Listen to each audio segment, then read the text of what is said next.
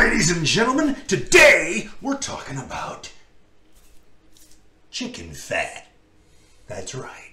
Chicken fat. This stuff right here. This is pure, unadulterated chicken fat, which I extracted when I made bone broth. And you can too. Do you know what they call this stuff? They got a stupid name for it. It's called schmaltz. Don't ask me. But you know, you've heard of like lard, tallow, duck fat. And in fact, you can go on Amazon right now and buy something called hump fat. I mean, literally fat from the hump of a camel. Eh, I don't think I want to use that. But this stuff, oh, this stuff is delicious. And if you fry chicken skins in this, oh man, you're going to give yourself a heart attack. But you're going to love it all the way down. Just kidding about that. But seriously, it is delicious fat and there's a lot of things you can do with it. And when you make bone broth, you can also extract the fat. Now, I used to throw it away, but now that I learned about it, I want to teach you about it. And there's two ways you can extract it, and we're going to do both today. So let's get started. Smoking.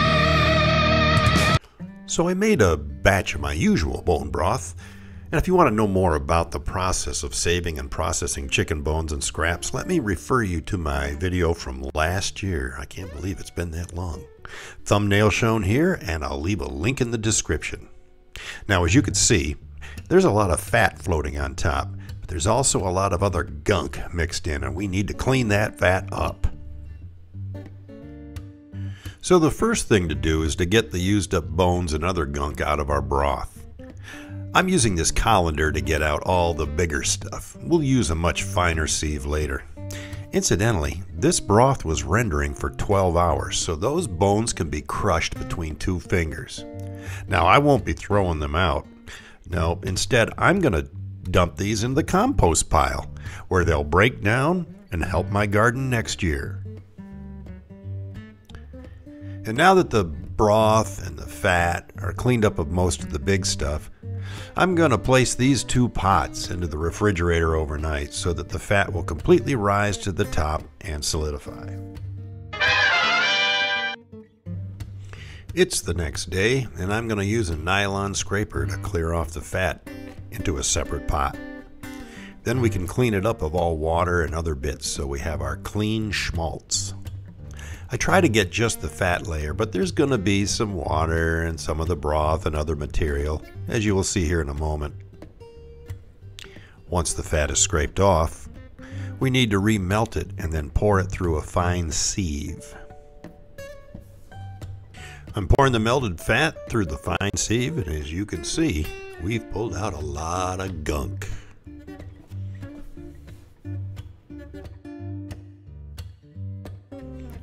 After filtering, I dump the oil into this glass measure.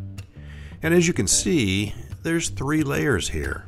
The top is our oil, the middle is our mixture of water and flour and other stuff from the chicken scraps. And the bottom is just some of the broth that got pulled in.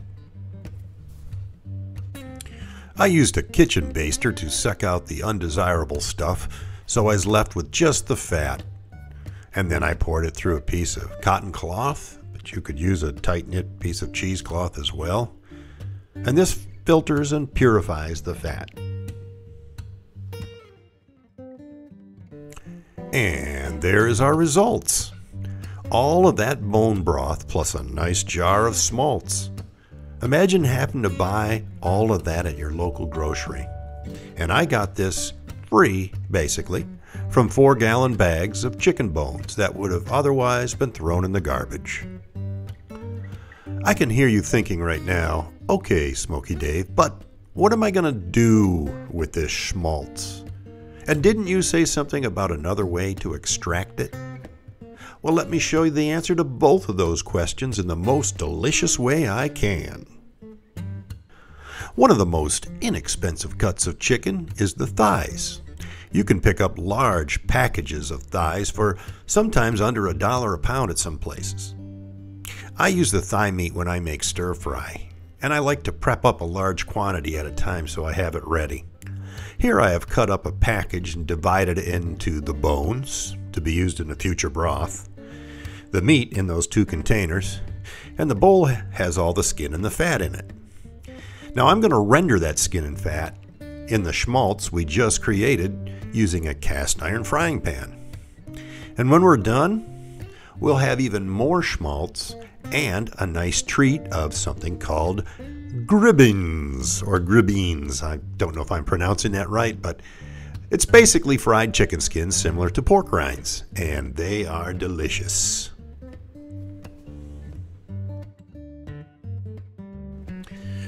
The gribbins are done, and we've rendered out even more schmaltz. I'll pour that through uh, the sieve here, and then I'll put the gribbins into a bowl with a paper towel. You kind of see off the edge there. And then all of our rendered fat, once that cools down, I'll pour that back into the mason jar. And as you can see, that's going to fill that jar almost to the top. And let me tell you, those gribbins are just delicious. I pretty much ate the entire bowl while I was filming this. I want to thank everyone for watching the video, and if you like what you saw, let me encourage you to try it for yourself. And I'd really appreciate it if you'd smash that like button, and if you haven't already, think about subscribing. I'll be doing a lot more videos like this, and as the holidays come to a close, I'll be getting back to my regular schedule, trying to get out at least one video every couple of weeks. So until next time, don't forget, it's no joke, everything's better with smoke.